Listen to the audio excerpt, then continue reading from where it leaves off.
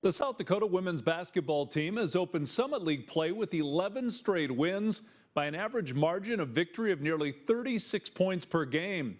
Tonight, the 21st ranked Coyotes look to continue their winning ways against Western Illinois. Opening quarter, Ciara Duffy draws in the D and kicks to Madison McKeever in the corner, where she tickles the twine for three of her 10 points. USD leads 13-10.